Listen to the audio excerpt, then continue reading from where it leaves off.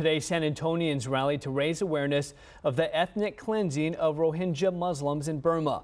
Rohingyas living here in San Antonio are calling the government cleansing a genocide that's brutally killing their people. Members from the local chapter of the Council on American Islamic Relations and other local organizations marched at Milam Park this afternoon.